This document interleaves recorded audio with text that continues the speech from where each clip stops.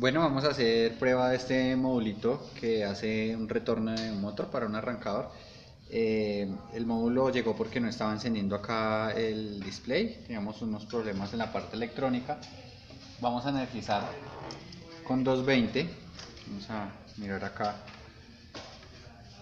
el voltaje de energización, 208 voltios.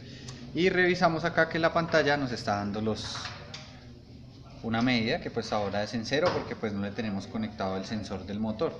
Eh, acá vamos a revisar que también esté el voltaje DC del, del sensor del motor que nos está dando 11.67 voltios. Ese es el voltaje que necesita el disco que, que hace como, como sensor eh, y que es el retorno del motor. Entonces ya las demás pruebas se tienen que hacer ya eh, con el dispositivo en la máquina